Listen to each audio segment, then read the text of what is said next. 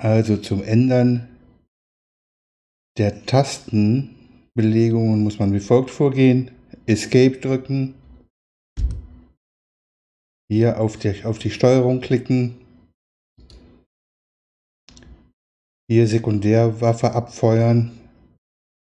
Klickst du einmal an und belegst eine Taste damit, in dem Fall F1.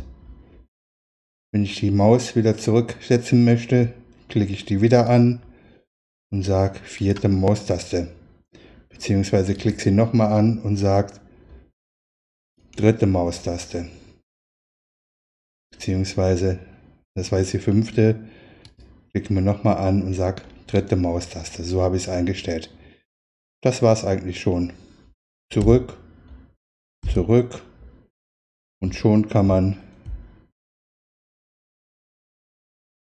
mit der gewissen Taste abfeuern.